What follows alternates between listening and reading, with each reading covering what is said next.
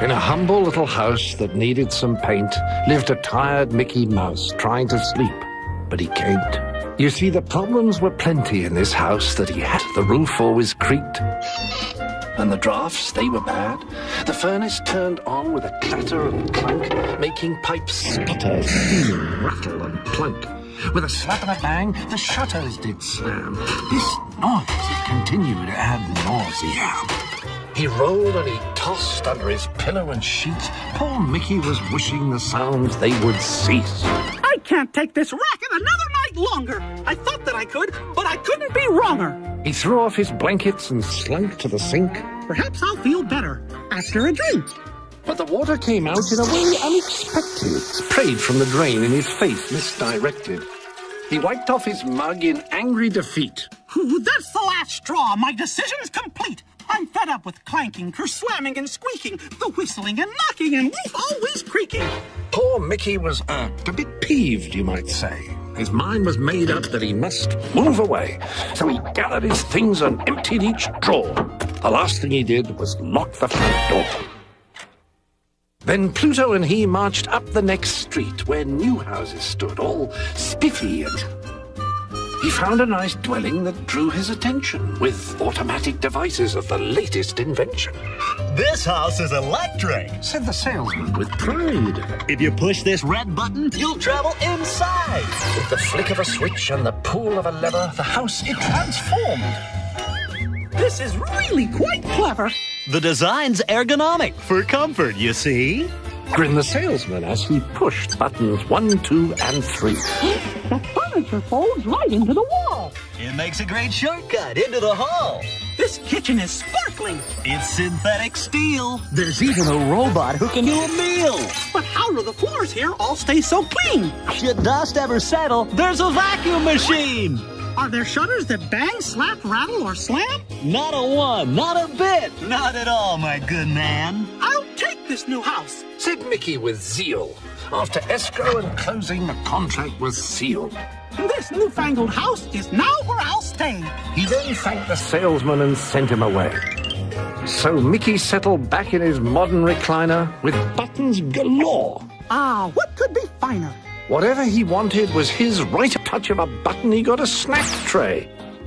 His chair, it reclined and rubbed his back so, then on came some music and dimmed the lights low. Said Mickey with a yawn as he scratched on his head.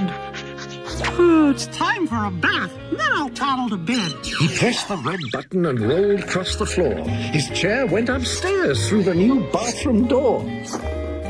With a splash and a splunk, the brushes did clean. What a wonderful thing, this bathing machine. Special arms then conveyed him off to his bed and tucked him in gently.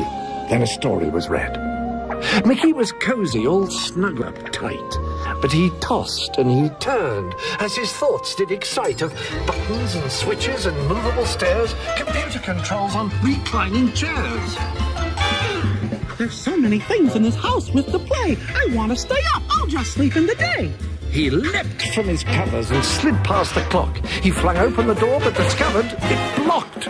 There stood the robot, its finger it wagged. Before Mickey knew it, by the seat he was grabbed. This just isn't right. I don't need a rest. I want to get up. Stop being a pest. Mickey scampered away, heading straight for the door, but the robot was fast and stopped him once more. Bedtime is fine, but this is my house. You're making me angry. Don't cheese off this mouse. So he turned and he climbed out of the open window and snuck away quietly on tippy tiptoe. But little did he think that out in the back, the robot was waiting for another attack. Enough is enough. I'll take this no more. If you want to play rough, get ready for war. A bucket of water. That's just the right thing. When the robot comes in, I'll pull on the string. Mickey readied his plan with his own trap. The robot came in, and then, with a snap, the bucket tipped over, and water came out. It splashed, and it soaked him completely throughout. He stopped and he fizzed that man made of steel. He jolted and bolted and began to unreel. Electricity surged in the house all about, zapping the circuits and shorting them out. Food from the fridge was flung in the air. It splattered and spattered in the poor mouse's hair. He ducked and he dodged, but he could not escape. The jelly that hit him was cherry, not grape. Back into he was dragged very quick and repeatedly scrubbed with a soap on a stick. All sudsy and wet Mickey Mouse tried to flee, but the vacuum was now on a house cleaning spree. The hoses they swung, they flailed, and they sucked the brushes whooshed past, forcing Mickey to duck. He grabbed up a lamp and began to fight back. But right at that moment, the recliner attacked. Mechanical hands squeezed him up tight. But Mickey was valiant. He put up a fight. When things looked their bleakest and all hope seemed lost, Mickey got the chair and gave it a toss. It hit the controls and smashed them to bits. The buttons, they flashed and flickered in fits. Mickey spotted his chance to get safely away. He snatched up his dog and then he did say, This place is a monster, not what I'd call home. He watched that new house shake, sputter, and groan. It fell with a crash. In less than a minute, he turned to his pup and said, Glad we weren't in it. Dejected and sad, they both strode away. Mickey and Pluto with nowhere to stay. The rays of the moon added some light, greeting Mickey Mouse with a warm, friendly sight. A little wood house that needed some paint. It wasn't quite perfect, but still, it was quaint.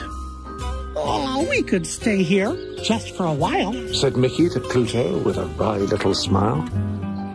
Later that night, all warm in his bed, Mickey Mouse snuggled up as sleep came to his head.